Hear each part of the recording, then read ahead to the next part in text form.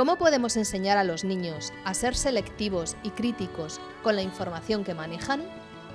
Isabel Plaza, experta en el uso infantil de nuevas tecnologías de la Fundación Aliados, nos explica qué podemos entender por un sitio web seguro para los niños. Para hacer un uso sano de Internet, en el sentido de los anuncios que están engañando a nuestros hijos, lo que nosotros tenemos que hacer es, igual que saber enseñarles qué cosas no tienen que hacer, aunque les ocurran, ¿no? aunque se las pidan.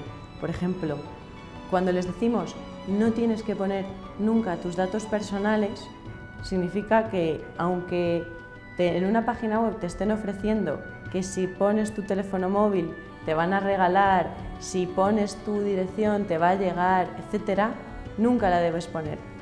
o sea, siempre tiene, en ese sentido, tiene que haber una, una, normativa muy estricta de comportamiento, ¿no?